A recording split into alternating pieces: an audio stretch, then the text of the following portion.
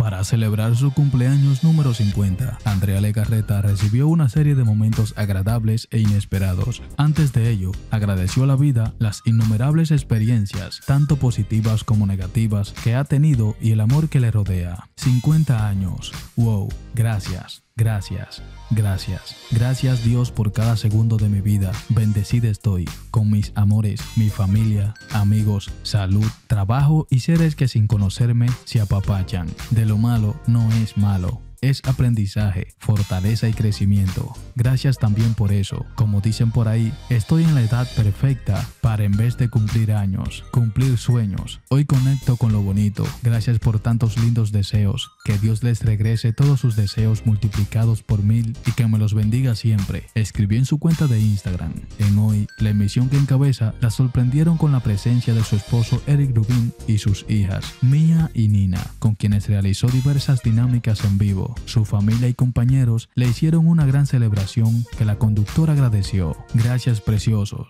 me siento muy bendecida de celebrar este día con ustedes, con los chicos, pues son parte de mi familia, son parte de mi día a día, mencionó en dicho programa. Decir 50 suena fácil, pero no. Agradezco cada vivencia, cada parte de mi vida, cada aprendizaje. Hay momentos buenos y momentos para aprender y agradezco que hayan estado en cada uno de ellos. Posteriormente hizo una fiesta en casa con algunos familiares donde degustó de un delicioso pastel.